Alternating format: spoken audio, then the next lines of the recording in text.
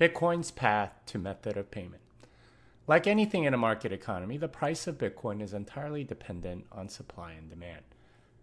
This may seem strange since money is used to price everything else, but there is a supply and demand for money. A money that's abundant will tend to have less demand, and a money that's scarce will tend to have more demand. We call a money that's abundant easy money because it's easy to add to the supply. That's why it's abundant. We call a money that's scarce money hard money because it's hard to add to the supply. The main reason why people value Bitcoin is because it is hard money. There's an inborn instinct for humans to want scarce things, and Bitcoin is limited in its supply by the 21 million cap.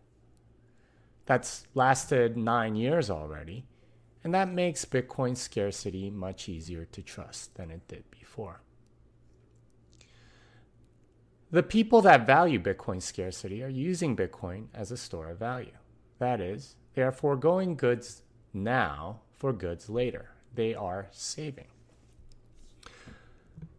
Furthermore, Bitcoin is also hard to confiscate and is unique among assets in this regard.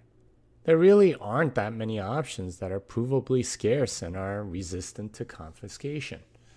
Real estate stores value pretty well, but is easily confiscatable. Stocks and bonds are also good stores of value, but are also easily seized by governments. Bitcoin is really the only asset that has both proven scarcity and confiscation resistance. That's not to say that scarcity and store of value uses are the only reason that people want Bitcoin. There are people that want Bitcoin so they could buy something on darknet markets, or because they want to transfer some money to their relatives abroad. These are what I call method of payment use cases for Bitcoin. The method of payment use cases have one thing in common. The people involved want the convenience that Bitcoin provides them, but don't care to hold the Bitcoin itself. People that use Bitcoin as a method of payment are concerned not about price, but about slippage, fees, and volatility during the short window when they hold Bitcoin.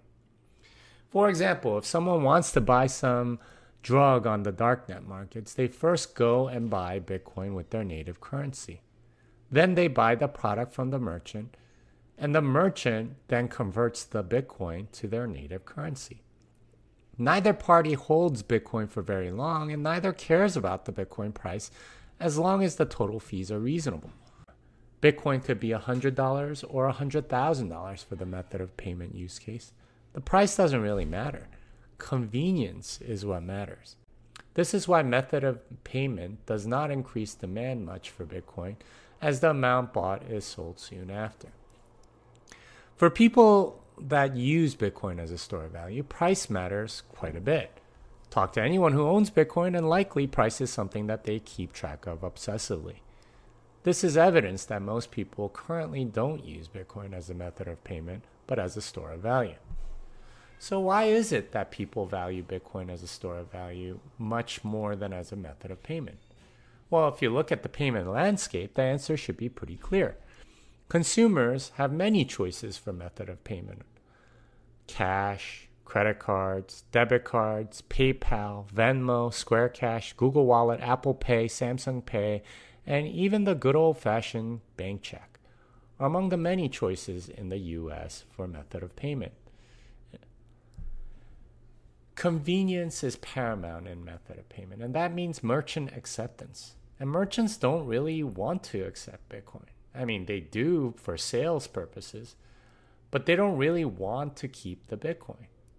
It's true that merchants can save at least a little bit versus a credit card, but that's more than made up by the fact that they have to pay the exchange fees to convert the Bitcoin to their preferred currency. At best, this causes selling pressure for Bitcoin as there's more supply to be sold. Even if the spender of Bitcoin buys back that Bitcoin on the market, what they've actually done is use Bitcoin as a crappy credit card. There's multiple transactions, more conversion fees, and less consumer protections. In other words, it's much less convenient and inferior as a method of payment. Trying to artificially create method of payment demand is putting the cart before the horse. the vast majority of people that hold Bitcoin aren't looking to use it as a method of payment. Holding cash in a bank and using a credit card is much better for that. The people that value Bitcoin's scarcity do so because they believe Bitcoin will go up long term. So spending it now doesn't really make much sense. The vast majority of merchants prefer something other than Bitcoin. Having received Bitcoin once or twice is not magically going to make them prefer it. So, how will Bitcoin evolve into a method of payment, if ever? From a monetary evolution standpoint, a few conditions have to be met before people start using hard money as a method of payment in earnest. First, the merchant has to want that particular monetary medium as a store of value. Many, for marketing purposes, say that they like Bitcoin, but few truly want to keep it. You can tell they don't really want Bitcoin because they still accept other payment methods. Second, the consumer has to desire the good or service so much that they're willing to part with their precious Bitcoin. Savers have a low time preference and thus are very good at resisting sales tactics. The actual good or service must be truly worthwhile for holders to part with their money. In other words, the merchant has to want Bitcoin as a store of value and produce higher quality goods to entice Bitcoin holders. At this point, merchants aren't desperate enough for Bitcoin. They don't even want to keep it when they get it. Furthermore, Bitcoin holders aren't tempted by what merchants are selling and thus use fiat instead. Until this gap closes, there won't be much Bitcoin flowing from holders to merchants, which is another way of saying that there won't be much usage as a method of payment. Everyone in the Bitcoin community would like merchants to desire Bitcoin as a store of value.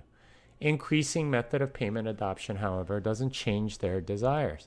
At best, this results in selling pressure on Bitcoin, lowering price. At worst, this causes a misalignment of in- incentives, misallocation of resources, and centralization. People value Bitcoin for its scarcity. Thus, everything else is a nice to have, not a must have. Lots of options already exist for method of payment but very few for store of value, and none that are as confiscation resistant as Bitcoin is. As Bitcoin adoption grows, merchants will start demanding Bitcoin as a store of value instead of any other currency. This is already happening to a degree in places like Turkey, Iran, and Venezuela. When a large part of society wants Bitcoin as a store of value, only then will the method of payment use case become more universal.